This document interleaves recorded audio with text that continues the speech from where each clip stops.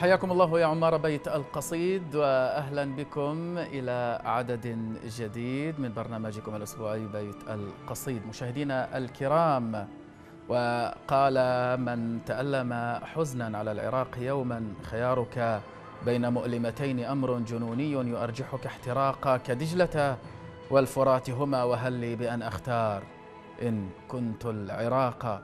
وانطلاقا من جرح العراق النازف في ديمومته إلى سوريا ذات الجراح الراعفة والنازفة التي تواصل شق الأفق بحثا عن شمس. لا بد قادمة من هناك. نذهب حتى نتعرف إلى تجارب شعرية واعدة ومنها ضيفة هذا العدد من بيت القصيد. اسمحوا لي أن أرحب بالأصالة عن نفسي وبالنيابة عنكم مشاهدينا الكرام بضيفتي هنا في الاستوديو بالشاعرة ريمان ياسين من سوريا. أهلا وسهلا بك ريمان. أهلا وسهلا بك أستاذنا وأهلا بجميع مشاهدينا في الوطن العربي وخارج الوطن العربي وأوجه تحياتي إلى جمهور قناة الرافدين وإلى كادر القناة الجميلة. وخالص الأمنيات لهم بالمجد والعظمة أينما حلوا وأينما توجهوا. نشكرك على هذه التقدمة والتجلة الطيبة. في البداية وقبل أن نذهب إلى مفتتح القصيد معك وأنا أعلم جيدا أن للعراق يعني حضورا خاصا في قصائد الشاعرة ريمان ياسين. وقبل أن نذهب إلى ما أعددت من قصائد لهذه الحلقة أود أن أسأل عن فكرة ارتباط الشاعر بالمكان وكيف يوثق هذا الارتباط بقصائده حتى يؤكد للأجيال القادمة أن الارتباط بالمكان هي مسألة وجودية لا تنازل عنها. الشاعر يا سيدي مرتبط بالأرض أيا كانت هذه الأرض. نعم. فهو لا يشعر بانتمائه إلى بقعة جغرافية محددة بقدر ما ينتمي إلى الإنسانية إلى الأرض كمفهوم للسلام كمفهوم للحياة. فالشاعر أيا كان انتماؤه لأي دولة من دول الوطن العربي هو ينتمي للوطن العربي بأكمله. هو ينتمي للشام والعراق ومصر والجزائر والسودان ينتمي إلى هذا الجرح. ينتمي إلى هذه هذه المأساة النازفة عقدا تلو عقد وجيلا بعد جيل. ينتمي إليها ليخبر أطفاله ليخبر أولاده أحفاده كم عانينا وكم نعاني لنعيد مجدا خلا. هل فقط ظل علينا ظل علينا أن نكون محكومين بفكرة أن نخبر أبناءنا وأحفادنا ومن حوالينا عن معاناتنا أم ربما يأتي يوم فنخبرهم عن الأمجاد التي صنعها آباؤهم نحن نصنع أبناءنا وأحفادنا بأن نخبرهم عن أمجادنا. يعني نحن نتابع طريق النضال. نحن فقط نحن لا نحكي فقط نحن نحكي ونفعل. نعم. فالطفل يتعلم يتلقن فيحكي ويفعل بدوره. وهكذا إلى أن نصل لمبتغانا. وللشعر تأثيره والمبتغى الذي يحاول الشاعر من خلاله أن يؤثر من خلاله على جمهوره وعلى أبنائه وعلى كل من يؤمنون برسالة الشعر إلى القصيدة الافتتاحية يا ريمان. وعن ماذا موضوعها؟ تفضلي. سنبدأ بالشعر. طالما الشعر هو رسالتنا وهو ديواننا وهو ما سنحكي فيه لأطفالنا أقول الشعر في الوجدان يكتتب. أسطورة طاقت بها الكتب. يزداد شوقي ألف أغنية في كل سطر منه أقترب. وكأن حرفي عاشق خجل من خله يدنو فيضطرب. يلقي السلام عليه في حذر والشوق في الأضلاع يلتهب. ما لي وللشعراء يا أبتي أبكي على أطلال من ذهبوا. ما لي وللشعراء. يا أبتي. أبكي. أبكي على أطلال من ذهبوا. ما كل هذا النزف في كبدي والجرح ما قالوا وما خطبوا. أو كلما يشدون من ألم يجتاحني التاريخ والتعب. في عنفوان الدهر يسجنني متنبئ نادى أيا حلب. الله. في عنفوان الدهر يسجنني متنبئ نادى أيا حلب. وأسيرة في حزن أندلس لا يفتديه الماس والذهب. يتقاذف العشاق ذاكرتي فأفيض من دمعي وأنسكب. يا كل وحي الشعر يا كل وحي الشعر يا لغتي أنا طفلة. وحروفي اللعب. فلترضعيني في الهوى شغفا فحليب أمي ليس يحتسب. علمت عشق الحرف في وطني هل بعد هذا العشق أغترب؟ الله. دعني أصوغ النبض قافية. دعني. دعني أصوغ النبض قافية أمضي وفي العلياء لي أرب. أمضي وعرش الشعر أمنية لا يشتريها المال والنسب. حسبي بأن الروح جامحة. إلهامها ما قالت العرب. إلهامها ما قالت العرب وفي الدمع إلهام أحيانا يا ريمان. ما بين دمعة أم عراقية ودمعة أم سورية كيف تذرف ريمان دمعتها؟ ريمان لديها حساسية للجرح. أحاول أن أبعد عن الجرح لأنني إن بكيت فلن أصمت. أنأى بنفسي عن تتبع يوميات الأخبار وإن كانت روحي محلقة إليها. أبكي بصمت أذرف قصيدا وأحاول أن لا أبدأ ببكاء الدموع الدموع المادية لأنها إن بدأت فلن تنتهي معي. دمعة امرأة أو أم عراقية فقدت وحيدها وأورثها علم العراق وحلم جيل بأكمله. ما الذي تصنعه بك إنسانا قبل وجدانية الشعر هذا ما هذا ما كنت أردده اليوم صباحا. فقلت بيني وبين نفسي تحكي الملاحم عن أنين في العراق عن صدر أم ذاق لوعات الفراق. عن صوت شعب بحه كتم الدموع. عن صوت شعب بحه كتم الدموع وترقب الفجر الجديد بلا هجوع. يستل سيف العزم من أمجاده ليجب أصنام الخضوع. ويقول للتاريخ إن الحق باق. لا تذرفي دمعا أيا أرض العراق.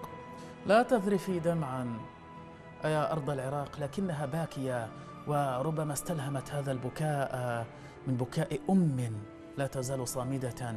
هناك في حلب الشهباء أو في أحياء الغوطة التي لا تزال تدفع الثمن إلى اليوم أو في معرة النعمان التي تبكي جمرا ولهبا. هذه الدموع الممتدة على خريطه على خريطة الجرح الواحد. كيف تفجر طاقة الشاعر؟ لا أنظر للأرض يوما أنها تبكي. نعم. كما قلت لا تذرفي دمعا أيا أرض العراق.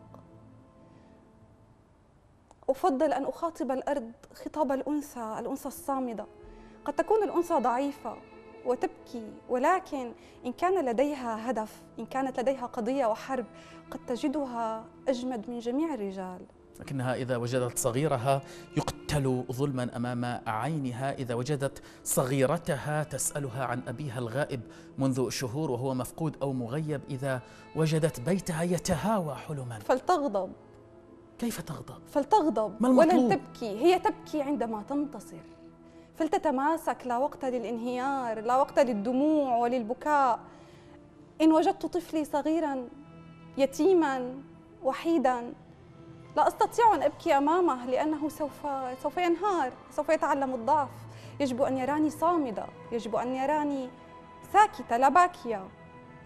ثائرة. ثائرة غاضبة مدفوعة بالغضب مدفوعة بالمجد مدفوعة بالأسى لأحقق هدفي. هل الغضب حبر قلم ريمان؟ نعم. كيف الغضب ذلك؟ حبر قلم الغضب محرض محرض كبير للإنسان. ليبث ألمه ليبث حزنه لينزف قصيدا لينزف عملا لينزف إيجابية بدلا عن أن يذرف دموعا هناك وقت للبكاء عندما تنتصر عندما تصل هدفك يحق لك الانهيار وذرف الدموع لأنك في الحزن. القمة الحزن فاكهة البكاء لكنها فاكهة غير محببة إلا إذا جلبت علينا الفرح ومن الفرح طبعا القصيدة الجديدة. تفضلي ريمان. قصيدتي الجديدة للعراق لبلاد الرافدين. تفضلي. رسالة إلى الرافدين. بيني وبينك زهر اللوز والآسي وظبية هربت من قيد حراسي. بيني وبينك عطر لو ظفرت به تفجر الورد من جلمودك القاسي. بيني وبينك صوت الليل مبتهل يتلو تهجده للشارد الناسي ويلهم الفجر في بغداد أغنية تعلو منازلها في ظله الماسي ويلهم الفجر في بغداد. أغنية تعلو. تعلو منازلها في ظله الماسي بيني وبينك قلب الأم إذ فزعت بيني وبينك قلب الأم إذ فزعت في عز هدأتها من صوت وسواسي وسارعت تحضن الأسماء داعية. رباه فارأف بهم وارأف بإحساسي رباه فرأف به وارأف بإحساسي الله. بيني وبينك ألحان مؤجلة ووقع أهزوجة ضجت بأعراسي توصي جنين الهوى أن يرتوي شغفا. توصي جنين الهوى أن يرتوي شغفا من أرض مولده في قدس أقداسي الله جميل. بيني وبينك أحلام مشرعة على مراكب جيش مترف الباسي بيني وبينك أحلام مشرعة. على مراكب جيش مترف الباسي جميل. يشق صف الرزايا شاهرا أملا وبيرقا قد سما تاجا على الراس. الله. يا قبلة المجد يا قبلة المجد إن نادى مؤذنها يممت شطر العلا في آل عباس. يا قبلة المجد إن نادى مؤذنها يممت شطر العلا في آل عباس. يا قبلة من شفاه الورد غافية. على أصالة فرسان وأفراس. لا تغرق الحلم. لا تغرق الحلم في أضغاث عاشقة. عاشت محملقة في فارغ الكاس. بثي إلى نصفها الملآن أمنية. حتى تشع كمصباح ونبراس. بثي إلى نصفها الملآن. أمنية. حتى تشع. كمصباح ونبراس. الله جميل جدا. بيني وبينك جرح يا عراق. بيني وبينك جرح يا عراق به دوامة جمعت من كل أجناسي تلملم القمح من أفواه غاصبها. تلملم القمح من أفواه غاصبها وتنضج الخبز في نيران أنفاسي. وتطعم الطفل اقدارا مشرفة من الشهادة دون الأرض والناس. وتطعم الطفل أقدارا مشرفة من الشهادة دون الأرض والناس. الله جميل هذا المعنى. بيني وبين عراقي ما أراه مدى من القصائد لا تحوى بقرطاس طبعت وجهي على صفحات دجلته حتى أطير لشتلات واغراس هي القصيدة هي القصيدة تحكي كم أهيم به. خير إذا أنشدت من كل مقياس. هي القصيدة تحكي كم أهيم به خيرا إذا أنشدت من كل مقياس. من كل مقياس ومقياس هذا الجمال وهذا الانتماء إلى الجرح النازف في العراق. يثبت أن الشام والعراق حلم واحد وأمل متجذر لا يمكن أن ينتهي إلا بفتح بوابة الخلاص. ريمان ما السبيل إلى استرداد الشمس الغائبة منذ سنوات. ماذا نحتاج؟ لو علم أحد ماذا نحتاج؟ لاسترددنا هذه الشمس منذ سنوات. نحن نخمن نجرب وما زال الفشل حليفنا. هل نسينا شيئا مثلا؟ باعتقادك. بالتأكيد. مثل ماذا؟ أخبرتك لو علمت. لم تجدنا هنا لماذا الآن. وصفت المدة وطولها بالفشل؟ لماذا لا تكون خطوات متراكمة قد تؤدي إلى نصر مرتقب؟ كسبنا جولات هذا مؤكد وخسرنا جولات أخرى ولكن من يفوز في النهاية هو من يربح الحرب كسبنا جولات وخسرنا جولات مثلما تفضلت ولكن الشعب أبقى من حاكمه ومن كل طاغية ودكتاتور. طبعا. آه، الشعب يتوالد. نعم. الشعب يبث أحلامه آلامه. يبث تاريخه في أطفاله كما تكلمنا. نعم. ليصل يوما ما إلى بزوغ فجر حريته فجر سعادته. قد لا تكون استردادا لمجد أقدمين فالأقدمين عاشوا مجدهم وفق ميزانهم وفق معطياتهم مقوماتهم إمكانياتهم. ربما كان مجدنا مختلفا.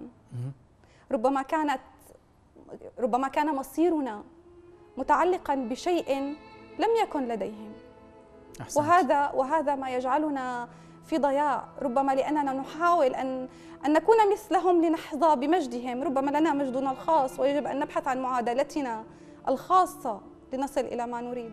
حتما سنبلغ ما نريد بالإصرار وبالعزيمة وهذا أكيد. الآن سنتابع أنا وأنت والسادة المشاهدون قصيدة لأحد الشعراء ومن ثم نعود للاستماع إلى جديد ريمان. تمام. مشاهدينا الكرام نخرج الآن إلى فقرة قصيدة للوطن ومن ثم لنا عودة لا تذهبوا بعيدا ابقوا معنا.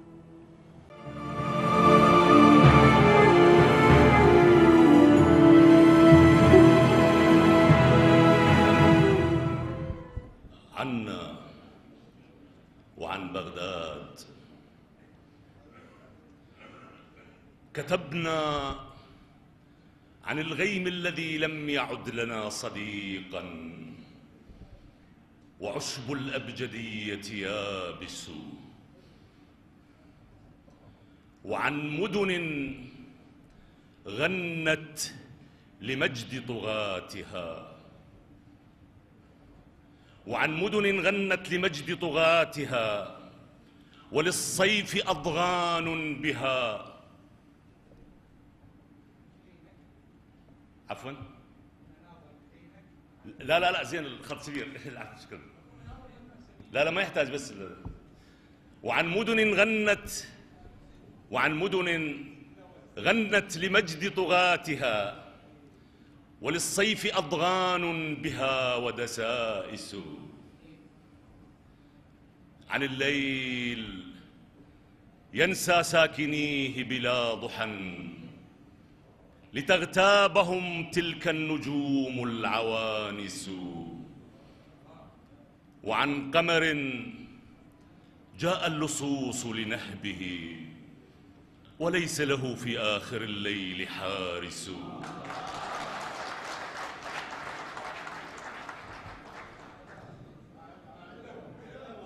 لا هو كتبنا عن الغيم الذي لم يعد لنا صديقا وعشب الأبجدية يابس وعن مدن غنت لمجد طغاتها وللصيف أضغان بها ودسائس. عن الليل ينسى ساكنيه بلا ضحى. لتغتابهم تلك النجوم العوانس. وعن قمر جاء اللصوص لنهبه وليس له في آخر الليل حارس. وعن مركب نوتيه لم يحبه وعن مركب نوتيه لم يحبه. بظلمة بحر موجه متشارس. كتبنا طويلا عن خيول ستختفي. أحبت ولم يحفظ لها الحب سائس. بها عطش للأفق مذ كان موعدا. وما غير مجد الريح كانت تمارس. توثق أسرار البراري بدقة وتنسى بلادا فجرها متقاعس. كتبنا عن الأشجار ترحل فجأة وتغلق فيها للطيور مدارس.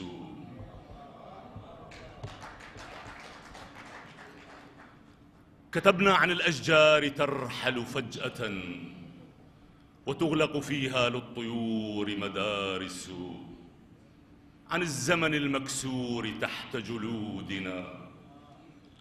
عن الزمن المكسور تحت جلودنا. ومأتم نهر فيه تبكي النوارس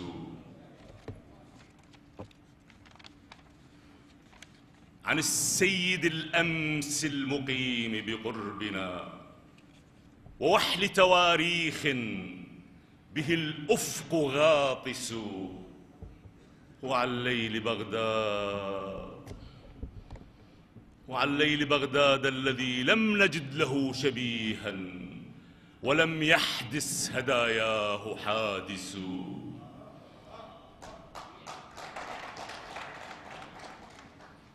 وعن ليل بغداد الذي لم نجد له شبيها ولم يحدث هداياه حادث. وصبح مروج تستفيق مشيرة إلى فرس يشكو لها العشق فارس. وبغداد ملء الحلم أجمل طفلة تزيد جمالا فيه حين تشاكس.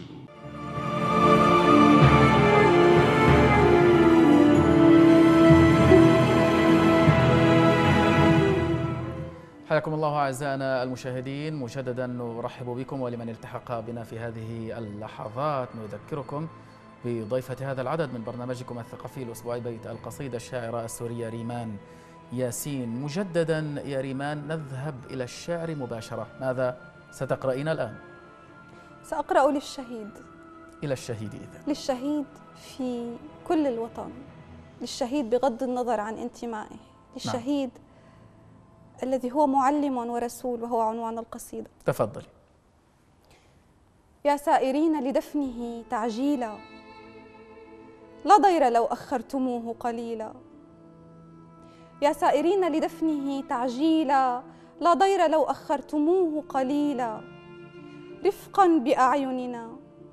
رفقا بأعيننا التي قد شيعته إلى الثرى في نعشه محمولا. رفقا إذا ما غاب عنها لن تطيق إلى سواه من الورى تحويلا. مهلا على الجسد المسجى بين أذرع عاشقيه مبجلا وجليلا. مهلا على الجسد الذي طلب الشهادة صادقا ومرتلا ترتيلا. خلوه فهو المجد خلوه فهو المجد في عليائه. شمس تنير إلى الجنان. سبيلا خلوه كي يسعى إلى استقباله. حشد من الملك الكرام قبيلا. خلوه كي يسعى إلى استقباله. حشد. من الملك الكرام قبيلا.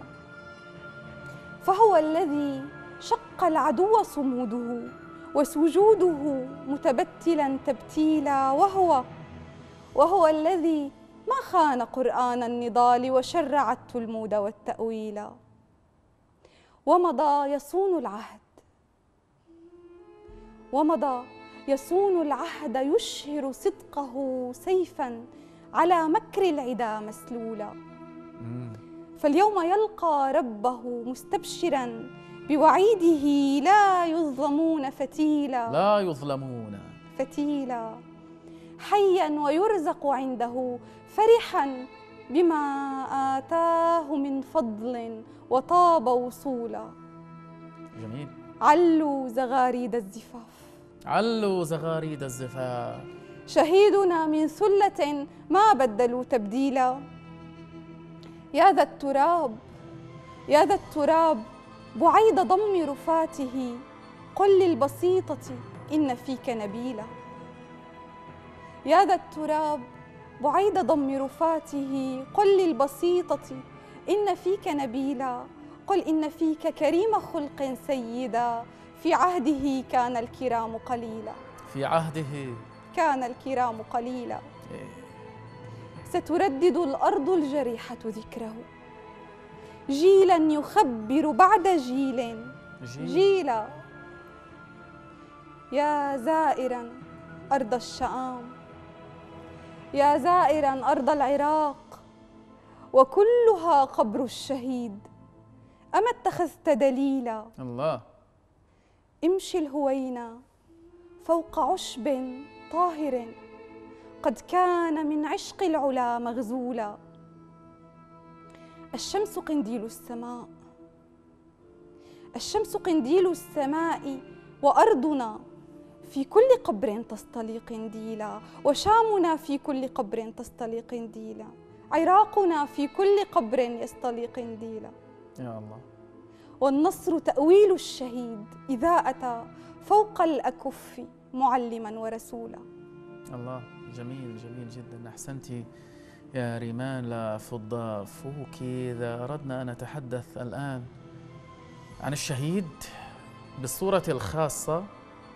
المستقرة في وجدان الشاعرة ريمان ياسين. ماذا يعني لك الشهيد؟ الشهيد بالنسبة لي يعني بداية فلسطين والقدس. كنا صغارا. ربما كان وضع أمتنا العربية أفضل من وضعها الآن. كبرنا رضعنا قضية القدس المحتلة وفلسطين والجولان المحتل. بدأنا نتجرع شهداء القدس نحفظ حكاياتهم أسماءهم. أذكر عندما قتل الطفل محمد الدرة ووالده ربما خضعت لعلاج من الاكتئاب.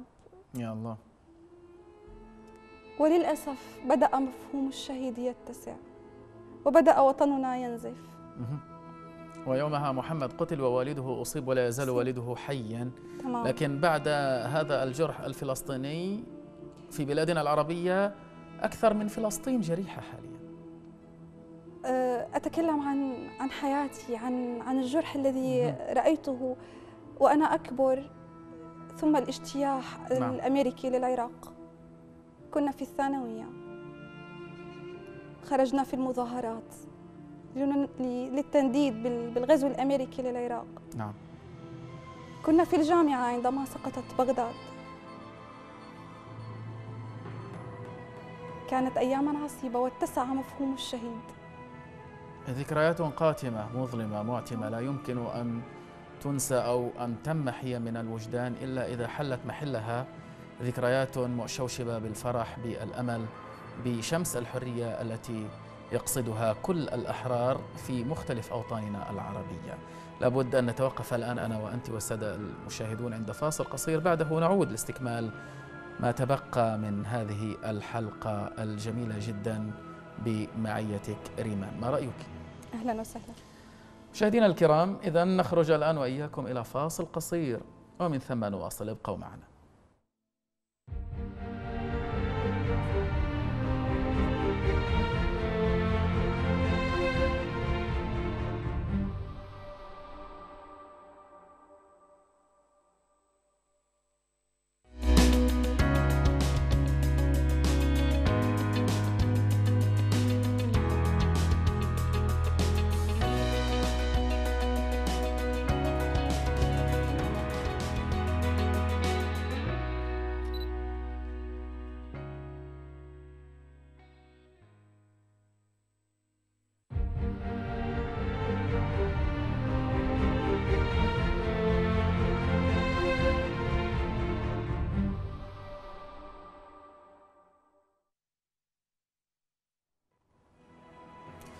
حياكم الله أعزائنا المشاهدين مجددا نرحب بكم في هذا العدد المتميز من برنامجكم الأسبوعي بيت القصيد رفقة الشاعرة السورية ريمان ياسين ريمان من نعم. جديد حينما نريد أن نتحدث الآن عن تجربة النزوح اللجوء الغربة في ظل فصل الشتاء وهذا البرد القارس الذي يعانيه عشرات آلاف النازحين ما هي الفكرة التي تسيطر عادة على ذهنك وقلبك كلما تساقطت زخات المطر وتأملت صورة اللاجئين من بعيد.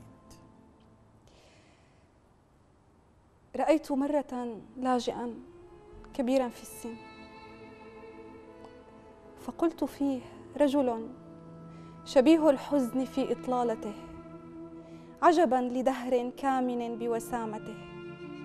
في السنديان حكاية ووصية لشموخه ورسوخه وصلابته.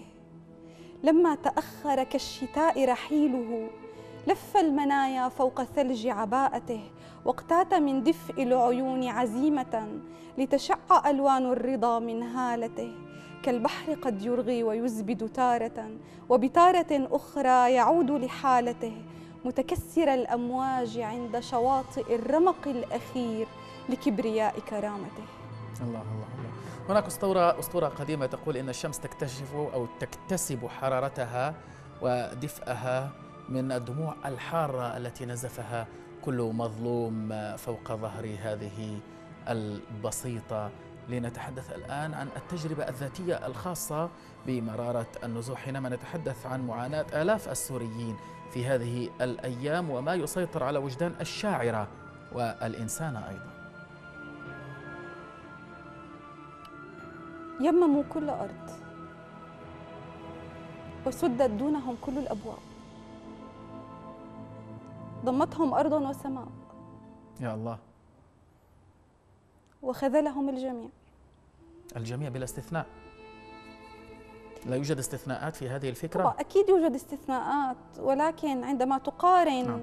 بين من خذل ومن ضم وآوى ووالى فإن يعني مشهد تكاد النسبة ويرجع. تماما تكاد النسبة تكون ضئيلة جدا. نعم.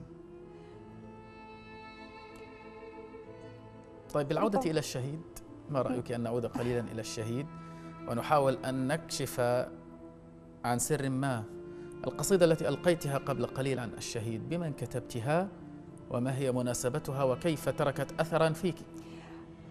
كنت أتابع تأبين أحد الشهداء. من هو؟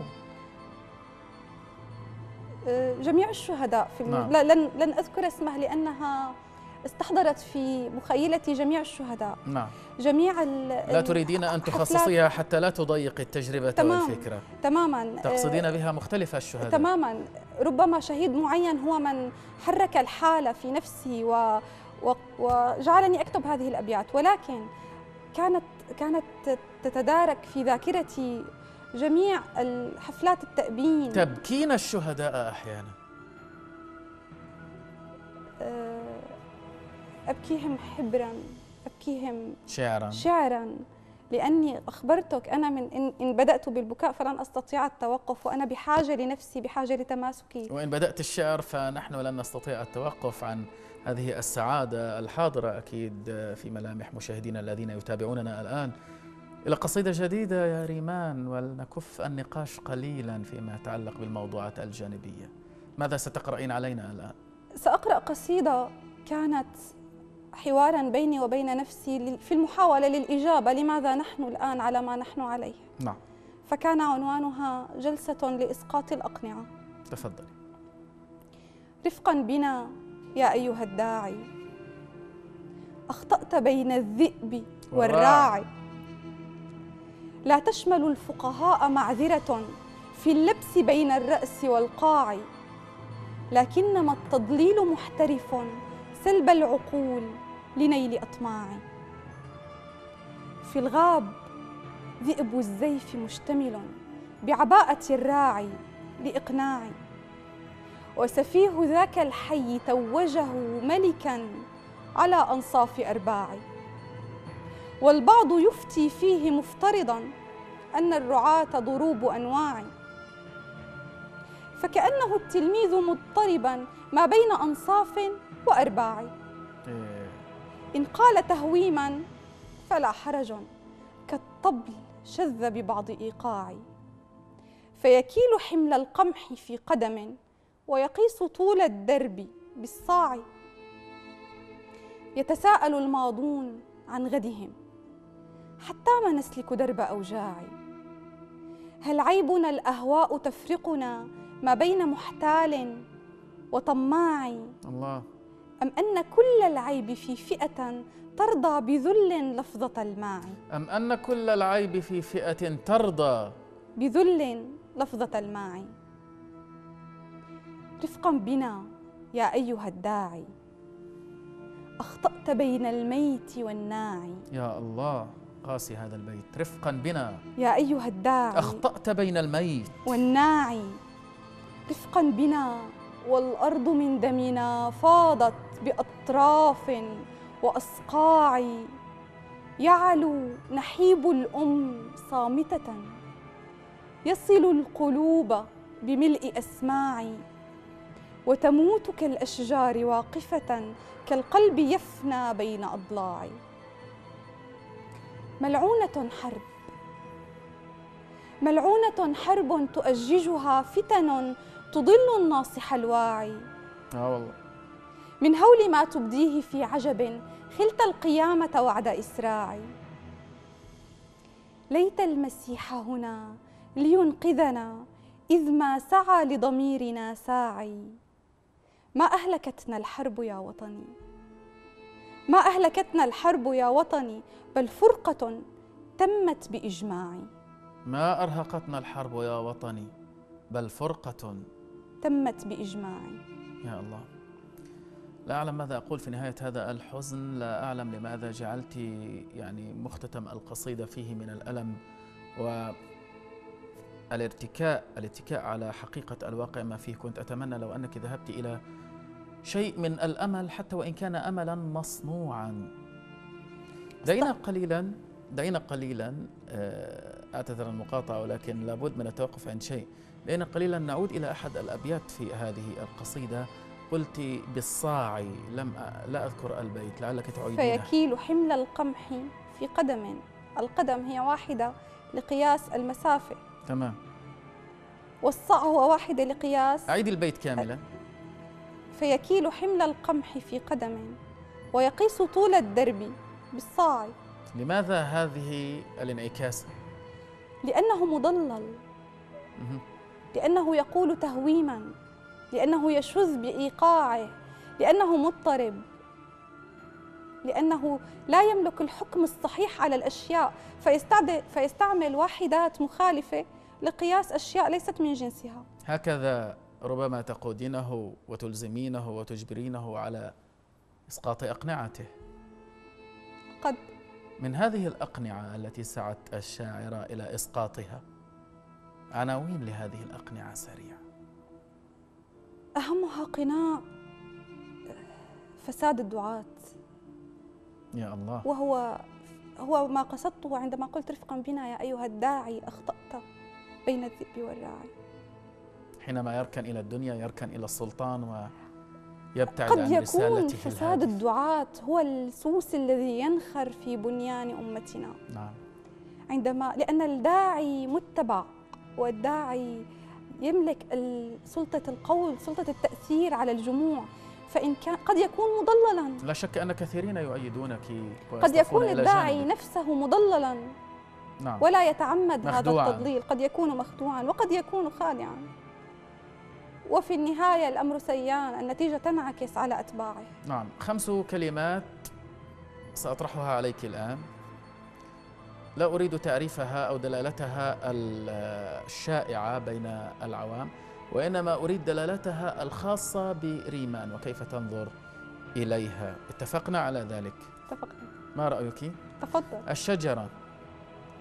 العطاء. الحزن. الفقد. جواز السفر. الألم. الغربة. تجربة. الأم. الوطن. كلها دارت في فلك المكان. كل إجاباتك دارت في فلك المكان. هل هذا يعكس فكرة الحنين إلى مكان ما؟ هو ليس حنينا بقدر ما هو التصاق. أكون بعيدة عن وطني ولكني ما, زال ما زالت روحي تعيش هناك. أستيقظ صباحا ف لأول عشر ثوان أحسب نفسي ما زلت في سريري في منزلي. كثيرا ما يأتي هذا الخاطر في بالك كلما كنت ما بين النائم واليقظان فتستيقظين تظنين أنك في منزلك هناك في سوريا فتكتشفين أنك في مكان آخر. لا في الحقيقة هو ليس فقط ما بين النوم واليقظة هو حتى في عز اليقظة. نعم. أحاول أن أسرق ساعات لحظات أغمض عيناي وأتخيل الأصوات هي أصوات منبعثة من حي القديم. الحي القديم قد منزلي في في دمشق موجود والحمد لله ولكن كان لنا منزل قديم في الطفولة في حي قد دمر بالكامل. يا الله. أبيد لم يعد على الخارطة أبيد تماما. عشت في ذلك المكان عشرون سنة عشرين سنة من عمري. يؤلم أن تت أن أن يك لو لو المكان الذي تعشقه موجود لك أمل بالعودة يوما ولكن عندما تعلم أنه قد محيا فلن تستطيع أن تزوره سوى في خيالك. ما رأيك أن نخدر هذا الحزن أو أن نتجاوزه ونتجنبه قليلا ونذهب إلى شيء من الأمل؟ إلى قصيدة جديدة الآن إذا أحببت ولك حرية أن تختاريها كيفما شئت ولكن لعلها تكون خالية من الحزن والآلام. سأطير على جناح الضاد. قصيدة عن العربية سأتكلم عن لغتي. تفضلي. إني الشهيرة تحت طهر لثامي لغتي بمعترك الحياة حسامي أتهجأ الوحي الذي تستله روحي الوليدة من رحى الإلهام.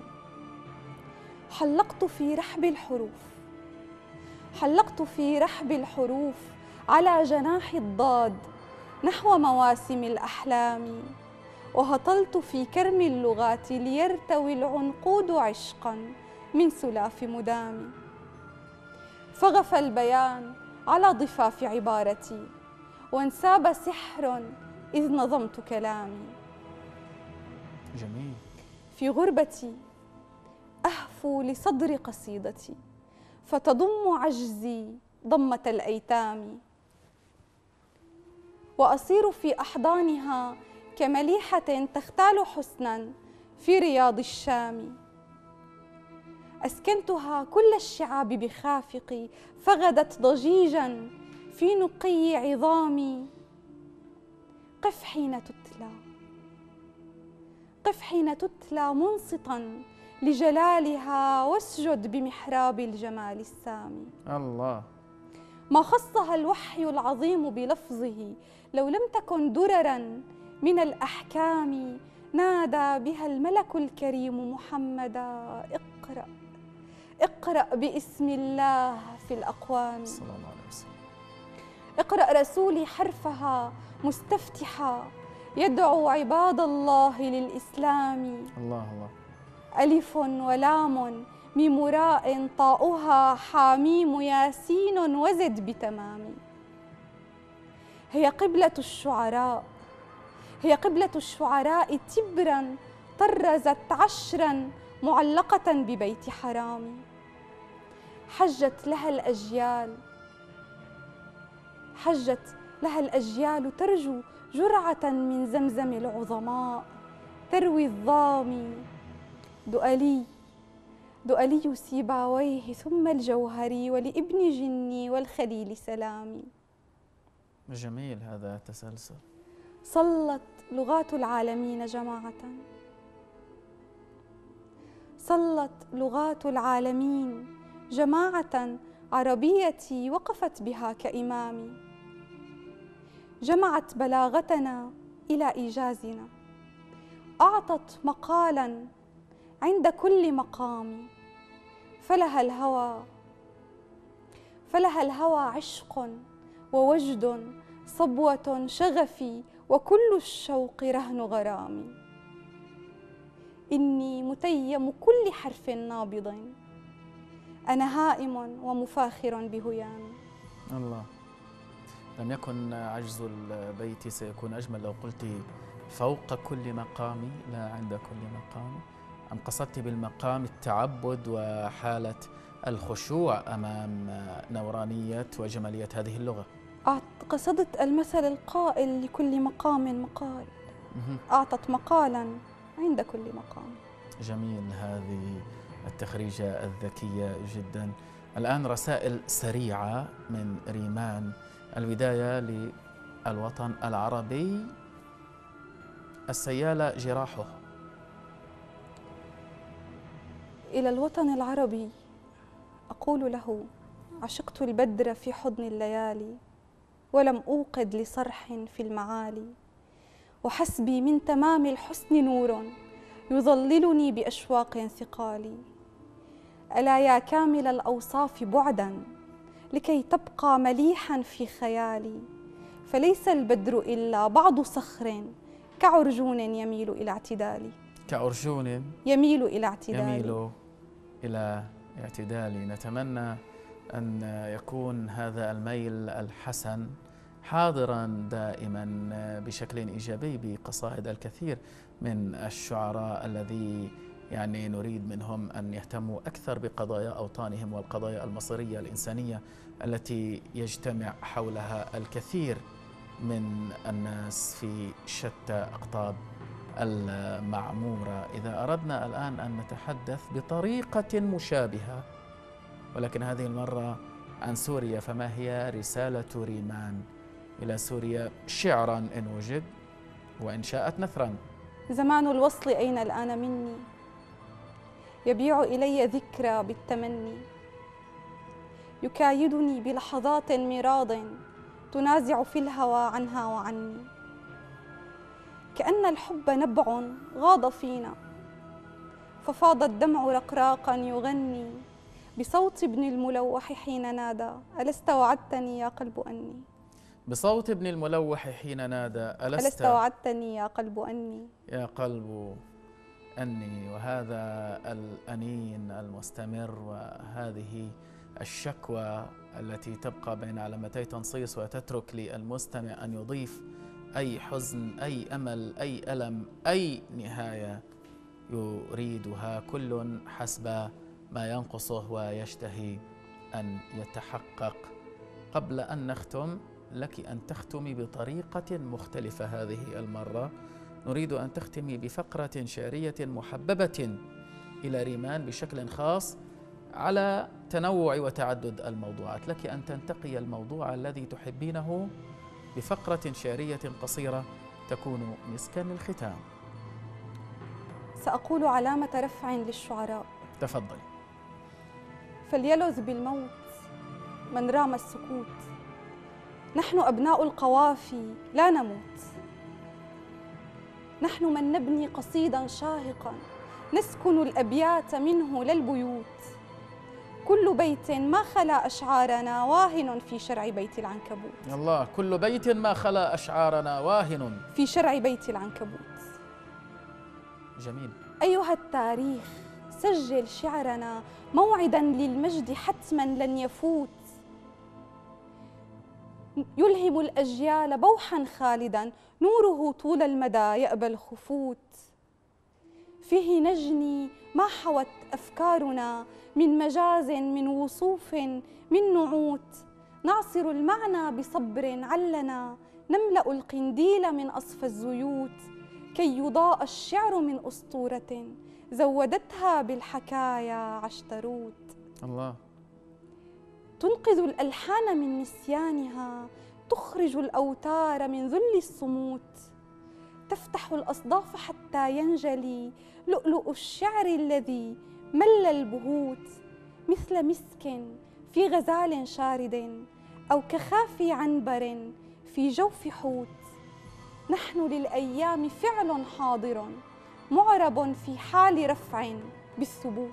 معرب في حال رفع بالثبوت وهذا الثبوت تستحقينه كما يستحقه كل شاعر حر منافح مكافح في سبيل قضيته وإنسانيته العادلة. شاعرتنا ريمان ياسين من سوريا للأسف انقضى الوقت سريعا رفقتك وأتمنى على الحياة والأيام أن تكون كريمة بالقدر الذي يتيح لنا تكرار مثل هذا اللقاء الجميل مرة أخرى. للشرف. والفخر بأنني كنت ضيفتك اليوم وضيفة قناة الرافدين الحبيبة. نحن أكثر سعادة بتشريفك. شكرا جزيلا شكرا يا, يا ريمان. مشاهدينا الكرام بهذا نكون قد وصلنا وإياكم إلى ختام كل ما لدينا في عدد هذا اليوم الذي يطيب بكم دائما. في الأسبوع المقبل يتجدد لقاؤنا وإياكم وحلقة جديدة من بيت القصيد رفقة شاعر آخر وحتى ذلك الحين والموعد. لكم مني أطيب التمنيات والسلام عليكم ورحمة الله. إلى اللقاء.